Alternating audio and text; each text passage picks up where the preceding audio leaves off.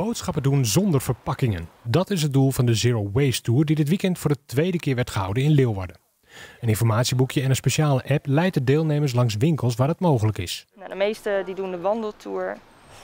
Vind je hier de routekaart. Hier is een linkje naar de Google Maps uh, routekaart.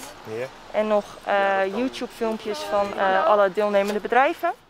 Het is nog een zoektocht om de juiste winkels te vinden. Want lang niet overal is verpakkingsloos winkelen mogelijk.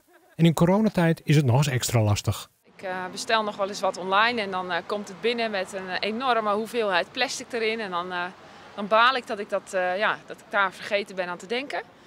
Maar ja, ik wil eigenlijk wel zoveel mogelijk van, van dat afval af. Een van de winkels die meedoet aan de tocht is jouw dagelijkse kost. Hier kun je onder andere tandpasta-tabletten kopen of hagelslagtappen uit glazen potten eigenlijk alleen plastic daar waar het gaat over dat je de, het voedsel beter kunt bewaren, langer kunt bewaren. Want anders zou je het, het voedsel weg moeten gooien.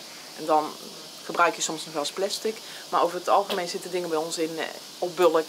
Neem je eigen bakje mee, schep je bonen, thee, uh, sommige verzorgingsproducten kun je zelfs loskopen. Maar de meeste winkels vinden het verpakkingsloos aanbieden van boodschappen toch te ingewikkeld. Je ziet ook bij de grote supermarkten dat uh, ja, de bewustwording ook daar op gang is gebracht. En dat het hè, wel meer mainstream begint te worden. Uh, bijvoorbeeld Albert Heijn die heeft net alle ja, plastic zakjes waar je groente en fruit uh, normaal gesproken in deed in de band gedaan. Helaas is dat wel een polyester zakje geworden, maar goed. Hè, het is ergens is het begonnen, dus ja, het, het, komt wel op gang. En dat is gewoon heel fijn gegeven. En is het doel dan uiteindelijk dat zo'n tour als jullie vandaag doen eigenlijk niet meer nodig is? Ja, dat zou natuurlijk een, een, een ideaal beeld zijn. Dat zou heel erg fijn zijn.